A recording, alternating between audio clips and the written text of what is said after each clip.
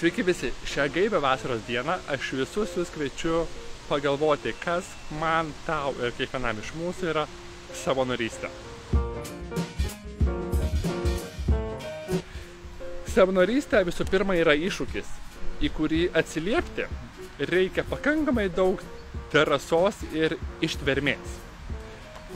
Iššūkis, kuris veda į nuotykį, kuriame daug išmėginimų, daug atradimų ir begalę daug džiaugsmo.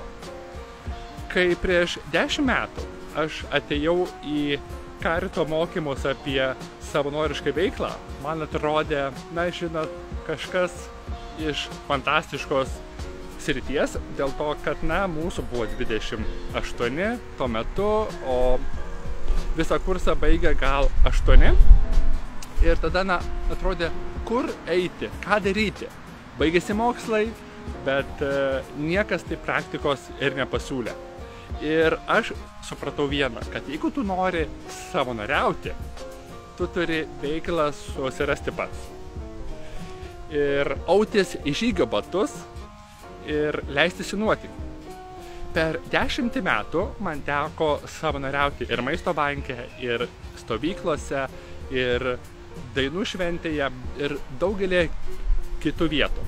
Ir iš to išsivystė, kad judėjimas nebūk naivus, dabar siūlo galimybę kiekvienam iš jūsų autis žygio batus ir nerti į savanorystės vandenyną. Viena iš tokių pamokų man buvo uh, savanoriaujant pas vienas sesutes ir, na, man buvo užduotis pasirūpinti varšais.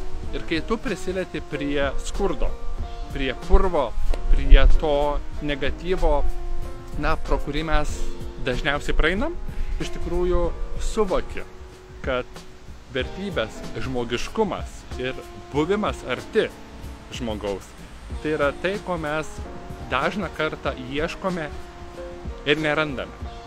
Beje, ar žinote, kad būtent savanoriška veikla yra reglamentuota įstatymu, kurį 2011 metais pasirašė mūsų prezidentė. Vadinasi, kiekvienas iš mūsų mes turime tvirtą pagrindą veikti. Belieka į tai atsiliepti. O kad nepasiklysti savanoriškos veiklos jūroje, aš jūs kviečiu ją atrasti pagal savo gabumus, pagal savo norus, pagal savo lūkesčius ir pagal savo svajones. Kiekvienas iš jūsų atsiliepęs į savanorystę, tai geriausia dovana tiek jums, tiek valstybei.